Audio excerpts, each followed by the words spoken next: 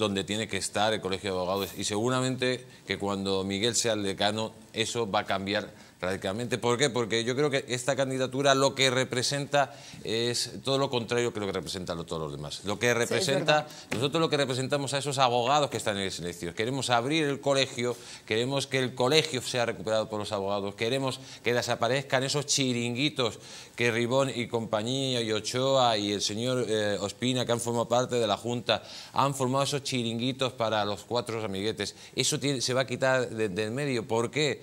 Porque, como muy bien dice Miguel, el colegio de abogados no puede ser visto por los abogados como, como un sitio donde hay que pagar un arancel para, para, eh, eh, trabajar o para ejercer la profesión. El colegio de abogados va a ser para todos los abogados. Lo vamos a hacer de nuevo grandes.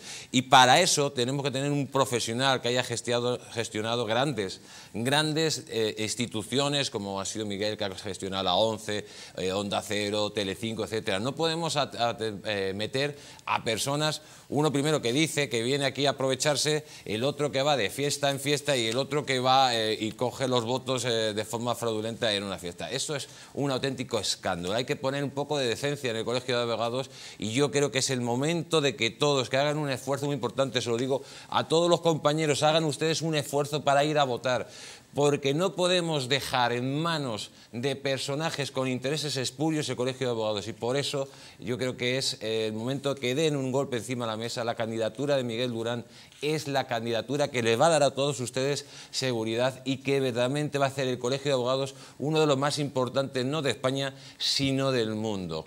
Y a partir de hoy, amigos, el cambio es realidad con Miguel Durán.